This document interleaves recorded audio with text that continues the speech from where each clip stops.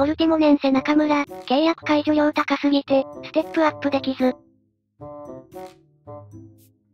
ポルトガル一部リーグのポルティモネンセで活躍を続けると日本代表復帰を果たした GK 中村康介。OJOGO によれば、フランスの名門リオンが350万ユーロ5.2億円でオファーを送ったものの、ポルティモネンセはそれを拒否したという。ポルティモネンセは中村の契約解除料を4000万ユーロ60億円に設定しており、安売りするつもりはないようだ。5億は安いけど60億は高いなしょう。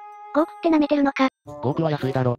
60億は重し出せても10億くらい。金額差ありすぎだけど60億は高すぎくん。60億って、当時のレートでフィーゴがレアルに移籍した時の金額やん。5億安い安い言われてるけど前任の GK は4億だった気がするし中村は今季だけしかまだ活躍できてないのに5億出すリオンは結構いい評価してると思うよ。いや、来ても3番手だよ。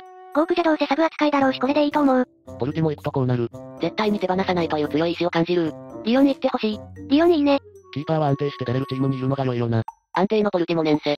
というかポルトガルクオリティ。マジで日本人ポルトガルだけはやめた方が良い。ポルトガルからだと全然ステップアップできねえな。よろしければ、チャンネル登録、お願いしまーす。